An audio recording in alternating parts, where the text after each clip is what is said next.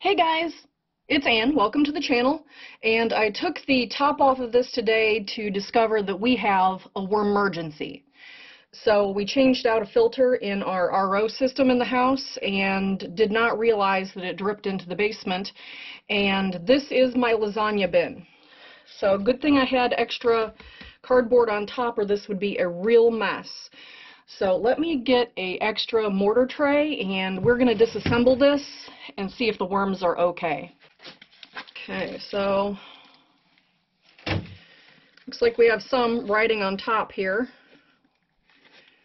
Now these will this will all go back, so we won't lose any worms. Looks like they had the little raft here. Yeah, Rose, there was room on the ice block for both of you. Okay, keep taking off layers here. I have no idea what I'm going to find.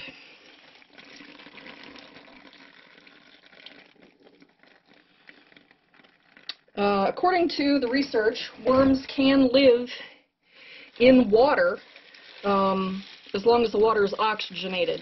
But unfortunately, this does not apply because this bin um, had food in it, which would have quickly uh, depleted the oxygen in here. So it isn't smelling really great, in case you're wondering.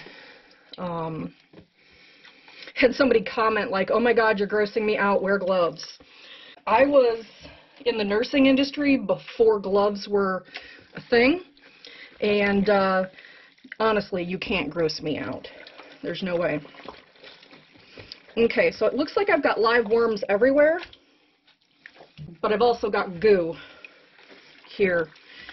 So it doesn't smell like there's a bunch of dead worms in here, honestly. It just smells sour a little bit. So we are going to have to rebuild lasagna here. Okay, here we are back. Let's start rebuilding the worm bin.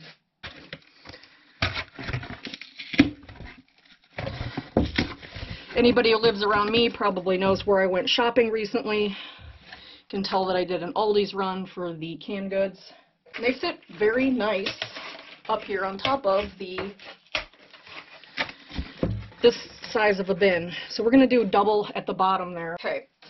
And this isn't something I normally put in the lasagna bin, but this is dry bedding. It has not been, uh, you know, wetted down. This is just magazines. So we're basically just going to make a layer out of the old lasagna stuff.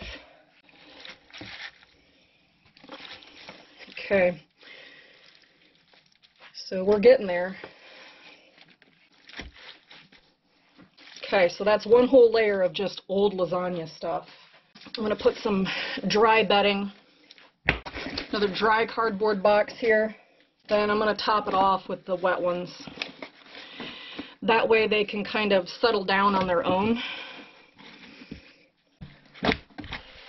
I hesitate to feed this right now um, I don't want to add to any problems in here.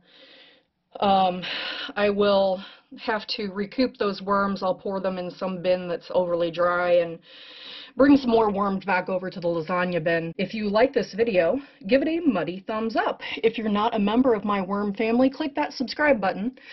And uh, if you want to see more about the lasagna bin, I will click to the playlist right here in the former video right there. Thanks for hanging out with me and my worms, and everybody have a good day.